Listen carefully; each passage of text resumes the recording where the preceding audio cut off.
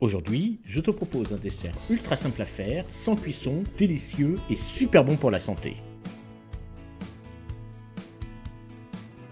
Bonjour, je suis Cyril Chevaux, bienvenue sur ma chaîne.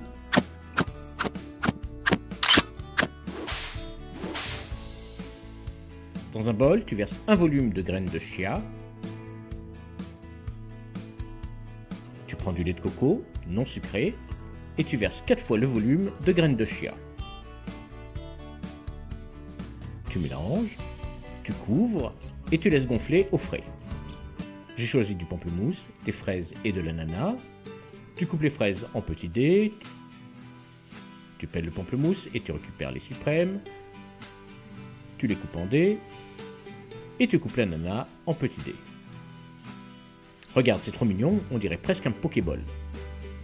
Tu sors tes graines de chia, elles ont bien gonflé. Tu verses ces dés de fruits dans des petits verres. Les graines de chia, tu peux les déposer sur les fruits coupés.